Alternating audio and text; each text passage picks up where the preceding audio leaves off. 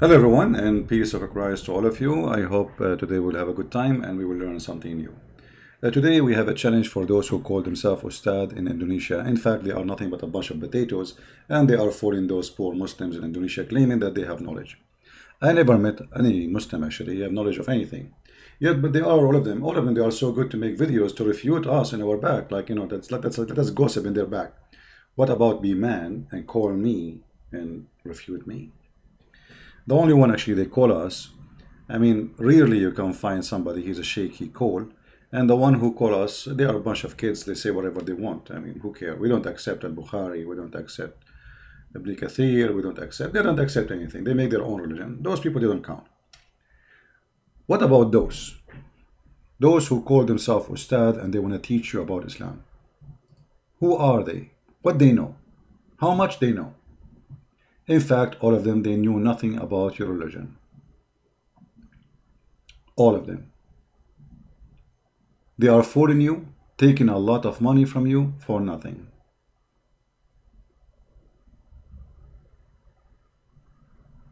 Today challenge to the Muslims, especially those who claim to be cleric in Indonesia, is very simple. The Muslims agree that God he gave Moses command. Where we can find the command of Moses in your book? You know, your book is scattered, and when you talk about Moses, you find yourself all over the place.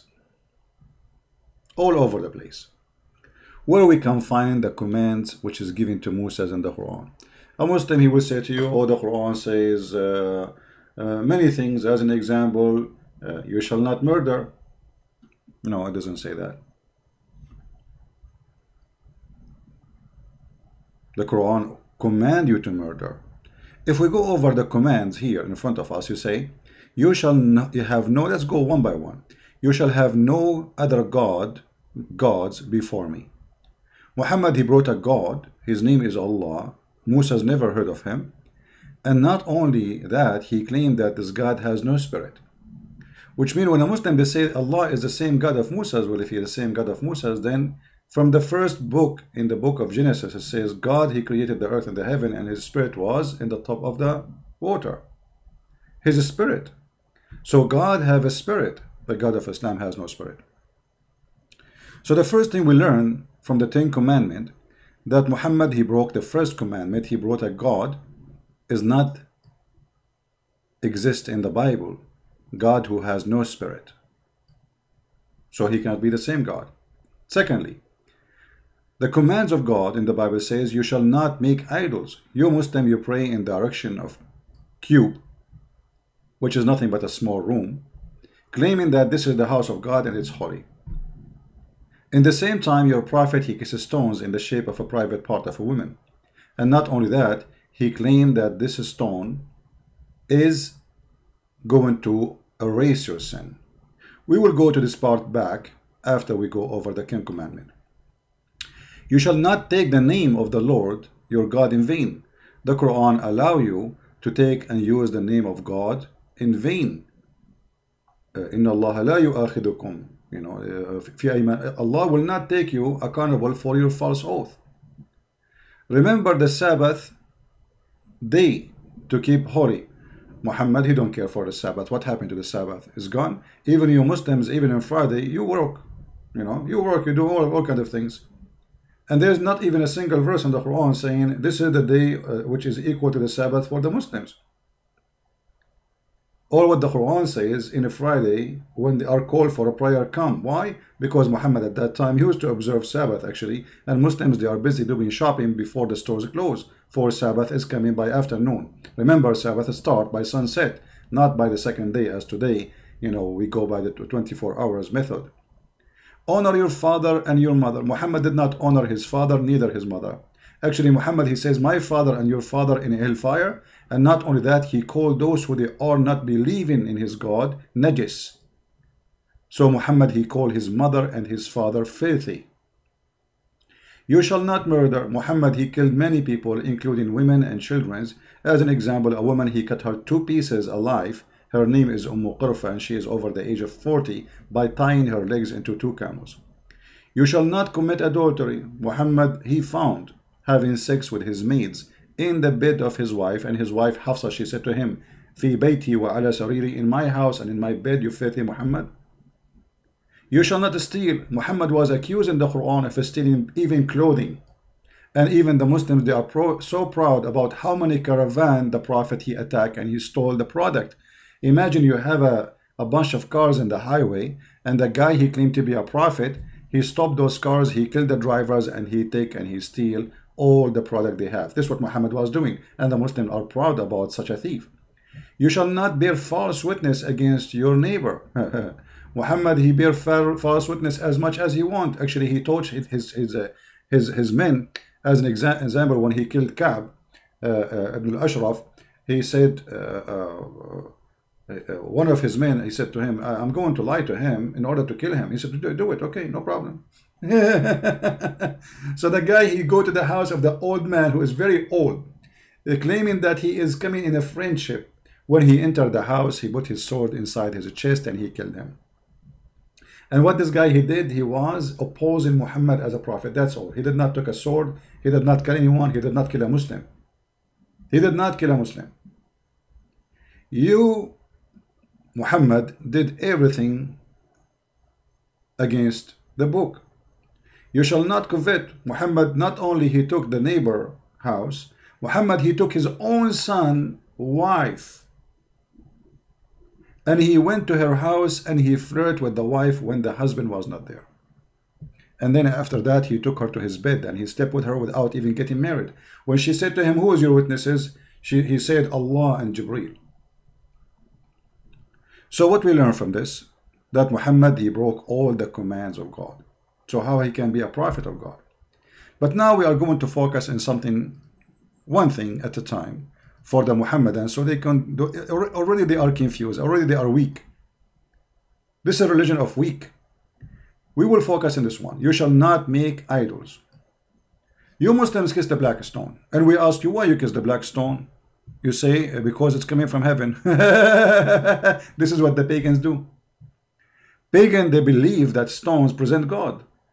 Actually most of pagan they don't believe that stones our God as much this this is this, this is a stone will give them the power of God. And this is exactly what your Muhammadan do. If we go and review what Muhammad he did and what Muhammad he teach about the black stone we will find that you are a pure pagan people. Ibn Abbas said that he used to kiss the black stone. In different hadith it says that Muhammad he used to, uh, to, to, to kiss the black stone and he cried and he said to Umar, uh, here, here the tears of sorrow will be will, will, will, will, come and he used to cry in front of the black stone. Umar, he got Muhammad busted. He said to Muhammad, he said to the Muslims, well, I know that you are use this stone and you are useless. You are harmless. Neither you, you, there's no use of you and there's no harm. There's no benefit if you read the hadith. And this is coming from Bukhari. But then why Muhammad then he kiss it? If there is no benefit from it. It doesn't make sense. In different hadith, Muhammad he claimed that if you touch the black stone in the Yemeni corner, by doing that, that erase your sin. And as you see, this is not a da'if hadith. He said, I heard the Prophet, the messenger, saying, touching them erase sin. And I had him say, whoever circumambulate seven times, it's like freeing a slave. So now Muhammad, you don't need to free slaves. Oh, just go to no, go around the Kaaba seven times, and that's it. Free you free the slave. That's it. Keep your slave at home as a slave. So Muhammad, he, you know, uh, uh, when he starts saying free a slave, people start complaining, and he himself he cannot do that. So he said, "Oh, you know what? Forget about it. Just go around the Kaaba seven times. Forget about the slave. As if it's as if you're, you're free a slave." But the important here, you see the pagan Muhammad saying, "Touching them erases sin." I challenge those Muslim ustad to tell us how touching stones will erase your sin.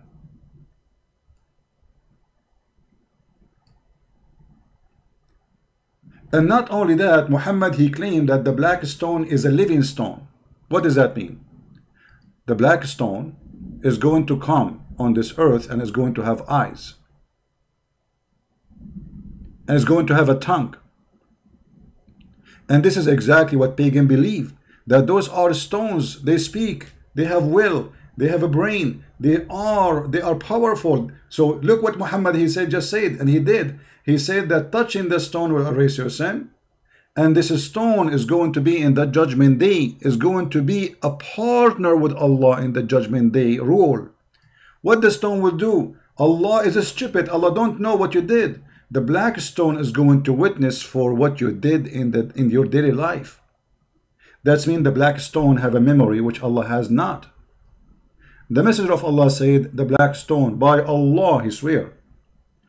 Allah will raise it in the day of resurrection with two eyes by which it sees and tongue that it speak with, with testifying to whoever touch it in truth. The black stone, my friend, is going to testify for you. A black stone.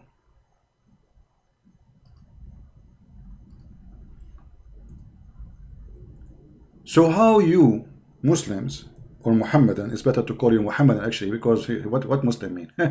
you are following Muhammad blindly. You are not following anything. You worship Muhammad. Muhammad is God uh, for you and Allah is the puppet of Muhammad and all of us we knew that this is the story. If we go to the images of the black stone, which you Muslim provide us, and I say thank you, if we go there, we will see something very funny and very stupid about this stone. Because this is stone, nothing left of it. This is stone, nothing left of it. There is a little tiny rocks, few rocks, fixed between wax. I don't know if you can see it in the screen. So where is the black stone which Allah is going to raise in the judgment day? Where we can find it? How this stone will survive until judgment day? It survived by putting wax. Even this stone is not exist no more. It is gone proving that Muhammad is a fraud. Because if this stone is going to stay until judgment day, then what is this? What is this? Every few days they have to put wax around the stone to keep it look like a stone because there's nothing left of it. Al-Qarmati, when he destroyed the Kaaba and he, he, he made fun of Allah and he says, hey, where is your bird? Allah, hello? Where is your birds, the one who protected the Kaaba before, as in the chap chapter of the elephant? He destroyed the Kaaba, he took the black stone, he took it to his house, he made it poop stone for more than 21 years according to Muslims. And yet, Allah did not send his birds. And then they have to pay him money, and look, it looked like a toilet seed. And now, according to your prophet, huh? let me make it more clear, hold on.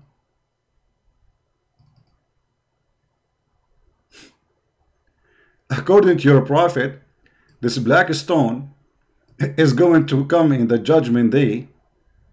Uh, let us see. I'm trying to get a better image so we can see. I don't know if you guys you saw with me what we are talking about. This picture is a clear, but anyway, let, let me do, let me use it with this one.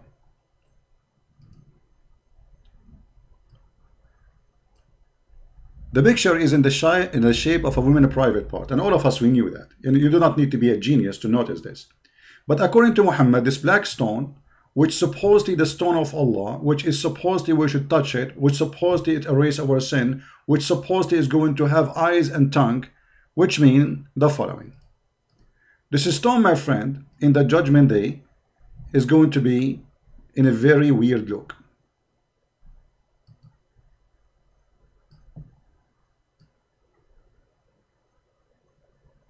According to your God Muhammad and his prophet Allah,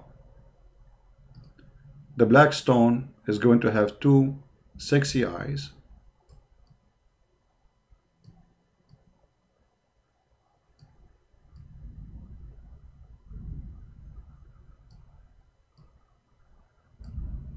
Is going to have a mouth.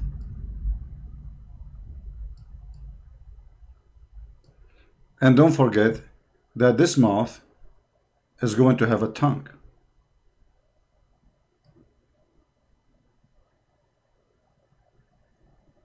And obviously this tongue will be big because going to witness to more than a billion or maybe two billion Muslims by the time the judgment day happen.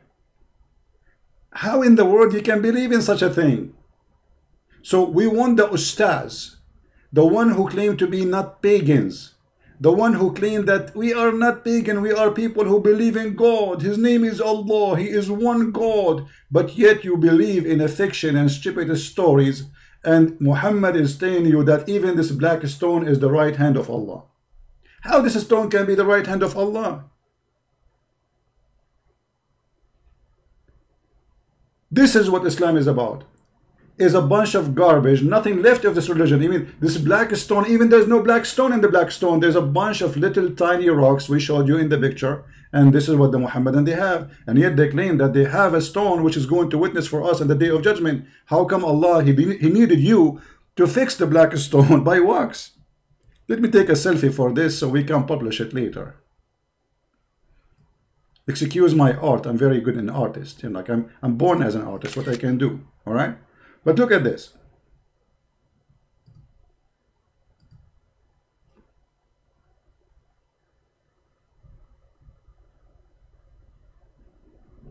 I mean, a human being sometimes is crazy. How, how, how people believe in such a garbage? It happened. Uh, there's tons of video in YouTube showing you live on videos how they fix the black stone every few days. By doing what? By putting a very expensive wax mixed with amber, musk, so it's going to smell good. And here we go. Those are the pictures. Allah he need a maintenance guy to do maintenance to the black stone I thought this is a stone preserved by Allah so now we need to do waxing even the black stone need waxing this is your stone this is your religion. If we don't wax it, it collapse. And the same as the Kaaba. The Kaaba always flooded by sewage. Let us show you, so people will not say we are making things up.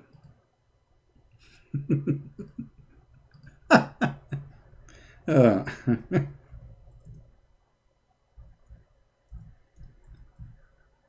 Ask yourself, if this Kaaba was chosen as a location by God, how come God, he chose the worst location in the world for the Kaaba, where always rain come and all the sewage of Mecca cover the Kaaba?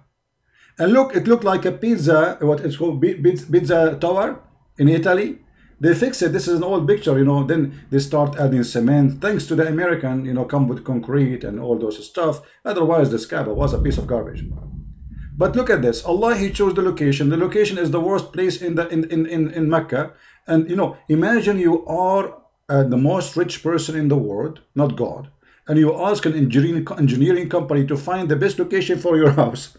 And then after a few weeks, your house is flooded by water and sewage. This is the house of God.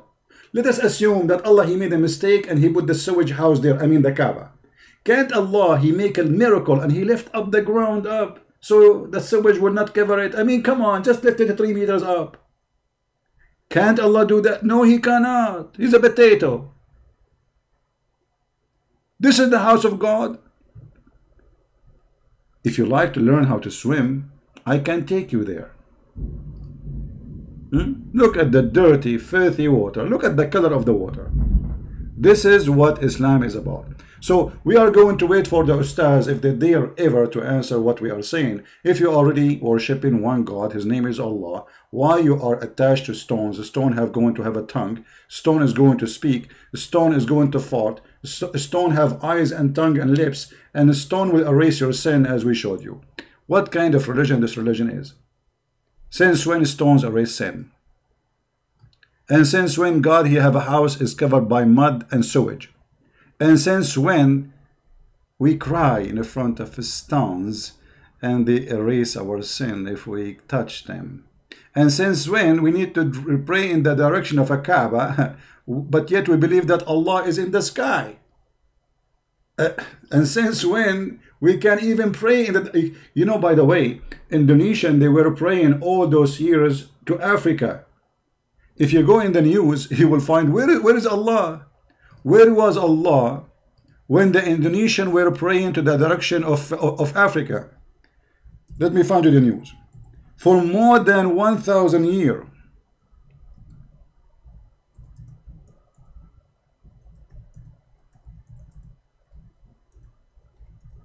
Allah, He did not send you somebody to find the correct direction to you. This is in the year 2010. Until then, 2010, not long time ago, just 10 years ago.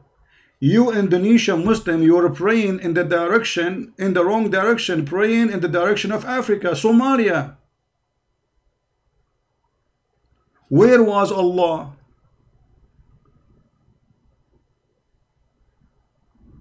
Do you see it? This just 10 years ago, all imagine how many hundred million Indonesian they pray all those 1,000 year. Praying to what? To Somalia.